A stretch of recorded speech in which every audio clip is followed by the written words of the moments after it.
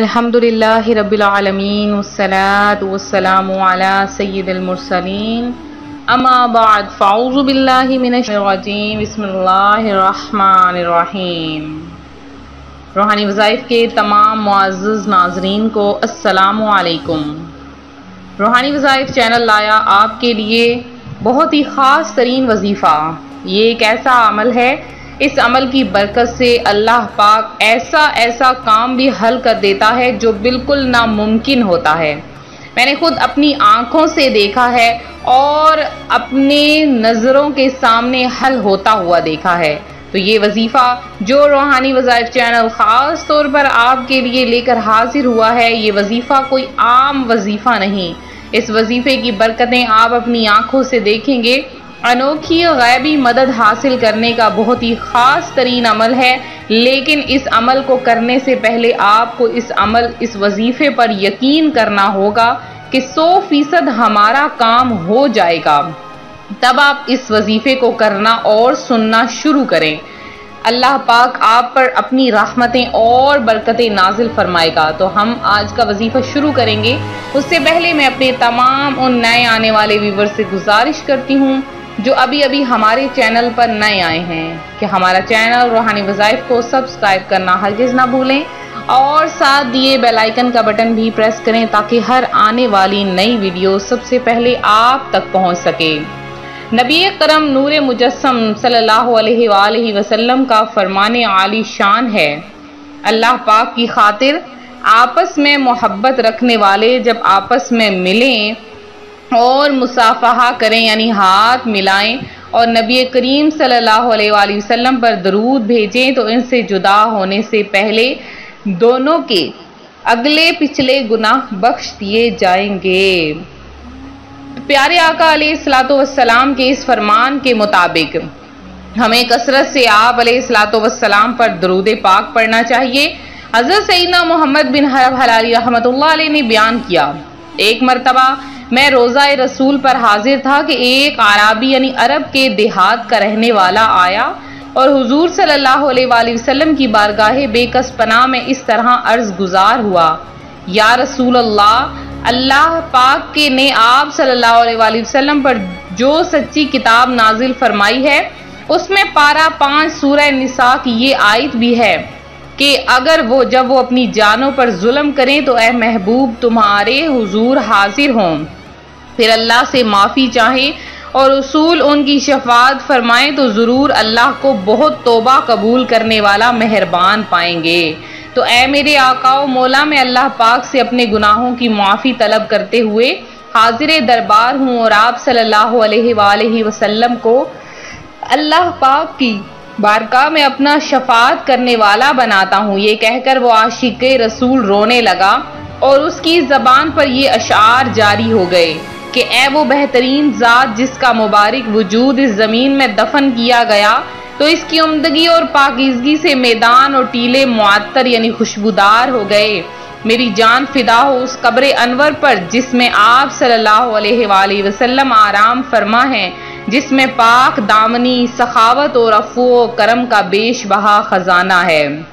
پھر وہ عاشق رسول کافی دیر تک ان اشعار کی تکرار کرتا رہا، اپنے گناہوں کی معافی مانگتا ہوا اشکبار آنکھوں سے وہاں سے رخصت ہو گیا۔ حضرت سیدنا محمد بن حرب حلالی رحمت اللہ علیہ فرماتے ہیں، جب میں سویا تو خواب میں سرکار مدینہ صلی اللہ علیہ وآلہ وسلم کی زیارت سے شرف یاب ہوا۔ آپ نے مجھ سے ارشاد فرمایا اس اعرابی سے ملو اسے خوشخبری سناؤ کہ اللہ پاک نے میری سفارش کی وجہ سے اس کی مغفرت فرما دی۔ تو روحانی وظائف کے پیارے پیارے اور معزز ترین ناظرین، جو روتا ہے، اس کا کام ہوتا ہے کہ کھلی حقیقت بیان کردہ حقائق جو بھی میں نے بیان کی ہے، واضح ہے کہ اس اعرابی یعنی دیہاتی کا رونا، اس کا گریا و زاری کرنا، آقا کریم صلی اللہ علیہ وآلہ وسلم کے دربار میں تڑپنا آپ کو پکارنا حضور صلی اللہ علیہ وآلہ وسلم کی بارگاہ اقدس میں آنسو بہانا کام آ گیا۔ خود اللہ پاک کے محبوب نے اسے مغفرت کی بشارت عطا فرمائی۔ یاد رکھیے، جہاں پانی بہتا ہے، وہاں سبزہ اگتا ہے۔ اور مدینہ شریف کی تو کیا ہی بات ہے۔ وہاں جو آنسو بہائے تو اس کی مرادیں پوری ہوتی ہیں۔ وہاں مغفرت کے پروانے تقسیم ہوتے ہیں۔ وہاں گناہ گاروں کو دامن رحمت میں لیا جاتا ہے۔ وہاں بے سہاروں کی بگڑیاں بنتی ہیں۔ وہاں غم کے ماروں کی غم خواری کی جاتی ہے۔ وہاں حاجت مندوں کی حاجت روائی کی جاتی ہے۔ یہ وہ برکت مقام ہے کہ یہاں جو بھی آتا ہے، جھولیاں بھر کے جاتا ہے۔ جو مدینے جاتے ہیں، وہ دل کی مرادیں پاتے ہیں۔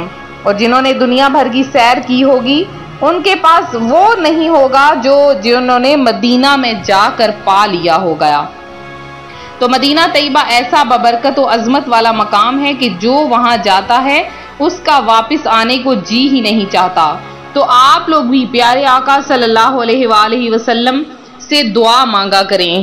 آپ کا وسیلہ لے کر کہا کریں کہ قلت ہیلتی، انت وسیلتی، ادرکنی یا رسول اللہ، ادرکنی یا رسول اللہ، آنسو بہایا کریں اور اللہ پاک سے جو مانگیں گے، اللہ پاک آپ کو عطا فرما دے گا۔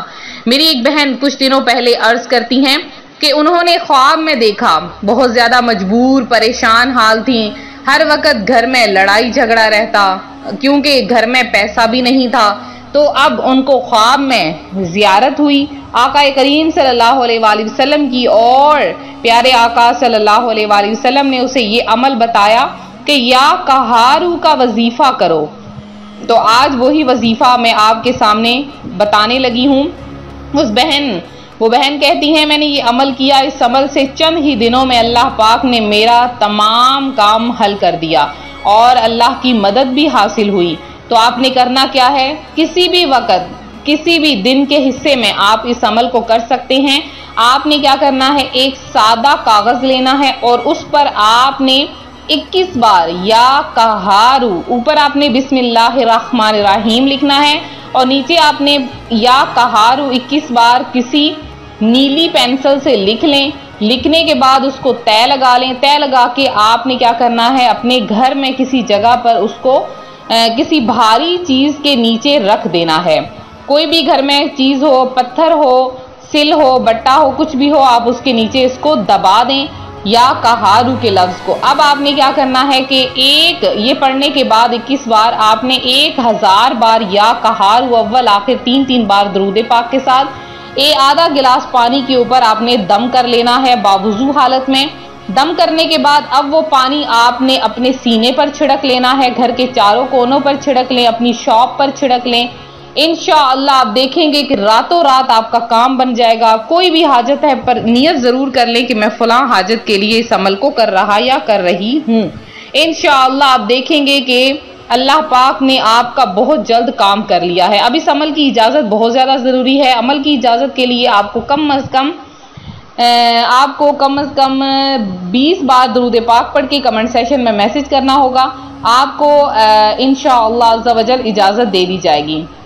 تو یہ تھا ہمارا آج کا عمل، ہمارا آج کا وظیفہ۔ میرے جن بہن بھائیوں نے آن لائن قرآن پاک پڑھنا ہے، ہمیں واٹس ایپ کیجیے انشاءاللہ عز و جل گھر بیٹھے آپ کو مکمل تجوید کے ساتھ آن لائن قرآن پاک پڑھایا جائے گا۔